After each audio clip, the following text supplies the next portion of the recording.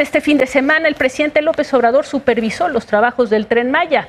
El trazo original se ha modificado en al menos tres ocasiones. La última modificación se hizo a pesar de que en esa parte los trabajos, la verdad es que ya estaban muy avanzados. Fátima Monterrosa y Víctor Urbera estuvieron estos días en la zona. Todo esto es lo que ya iba avanzado para el tren Maya. Todo estos millones y millones de pesos tirados a la basura. Cambia de ruta el tren. ¿Lo pueden creer? Desde hace una semana, los trabajos del primer tramo del viaducto elevado por donde pasaría el tren Maya en medio de la carretera federal 307 que comunica Playa del Carmen con Tulum se detuvieron.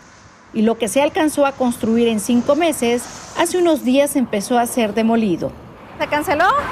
Pues hasta ahora no, no nos han confirmado todavía. ¿Pero ustedes ya no están haciendo nada ahorita o qué? Sí, estamos trabajando todavía. ¿Pero no les han dicho que van a avanzar o que van a recoger? No nos han dicho nada todavía. De esta autopista principal vía de comunicación de la Riviera Maya, se cortaron y desenterraron 22 mil árboles, se retiraron luminarias, señalizaciones y se demolieron camellones.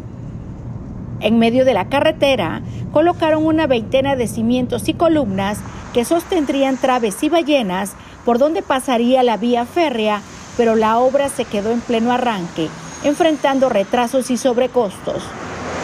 Cientos de toneladas de acero, varillas y cemento que compraron para este trazo quedaron sin usarse y se desconoce su destino final.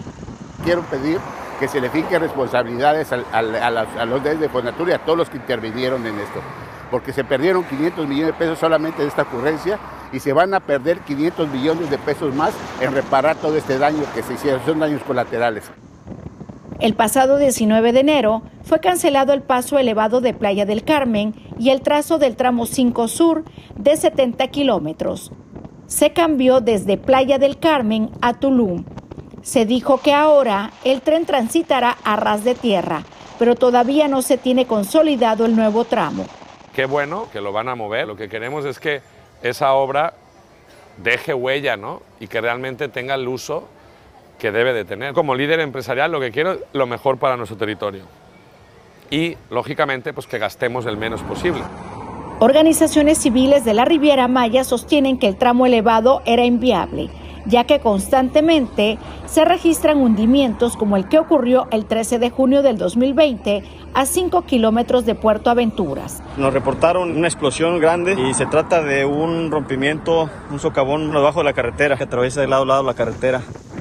Un grupo de espeleólogos acudió a la zona colapsada y verificó que se trataba de una caverna con ríos subterráneos y en su interior encontraron fósiles milenarios. El sitio permaneció abierto durante un año.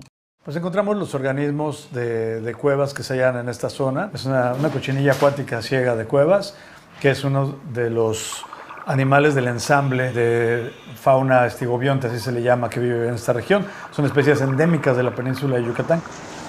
Cuando empezaron los trabajos del tren, le colocaron cimentaciones, pilotes de acero y la rellenaron para darle paso al viaducto elevado.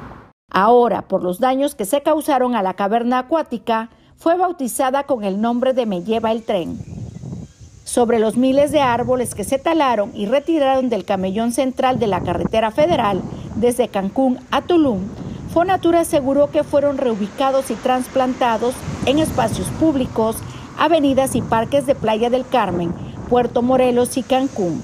Constatamos que muchos no sobrevivieron, en esta avenida tenemos unos árboles que, tumbaron. Esta devastación que hicieron de, de estos árboles, en, como es eh, aquí este ese, siricote, se secaron. Estos ya están muertos, estos ya no van a revivir.